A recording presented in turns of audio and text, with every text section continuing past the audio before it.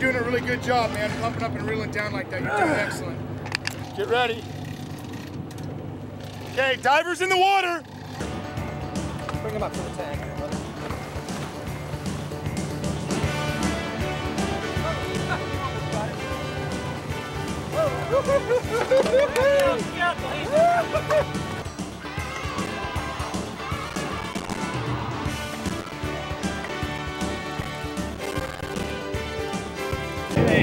That was it. a long release. It was bound to happen. She went under the boat so many times. But uh, galvanized hooks, so they should come out. She wasn't hooked bad. We saw the fish wasn't hooked too bad, but uh, it was a good. Uh, I don't like to tag them anyway. It hurts them. Huh? How big do you think, Krager? Uh, probably 175, 150. Real nice fish. All right. Ask him. You did great. Big enough.